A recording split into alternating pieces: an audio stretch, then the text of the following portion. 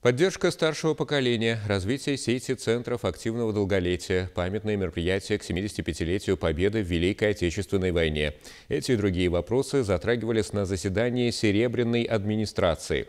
Участие в нем принял губернатор Сергей Морозов. Разговор начался с темы здравоохранения. Оно получит дополнительное бюджетное финансирование. Кроме того, ведутся успешные переговоры с различными министерствами. Речь об улучшении подведомственной им медицины. К примеру, для ветеранов членов МВД уже закупили новый УЗИ-аппарат. На очереди военный госпиталь. Его также оснастят современным оборудованием. В ходе заседания отметили роль мобильных бригад. Благодаря им в глубинке проводилась диспансеризация сельчан.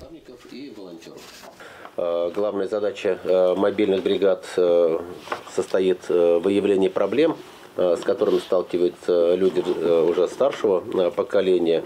Но в любом случае это не самое главное. Самое главное не выявление, а решение проблем. Губернатор предложил провести в регионе окружной фестиваль скандинавской ходьбы, а затем перешел к теме патриотического воспитания.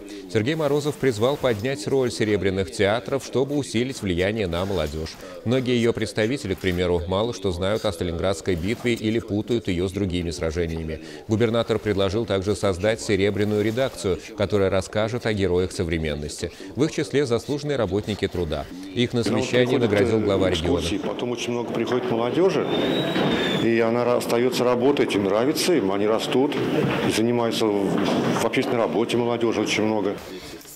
Серебряное правительство активно готовится к 70-летию Победы. Уже запланировано много мероприятий. Одно из них – это патриотический туристский марафон.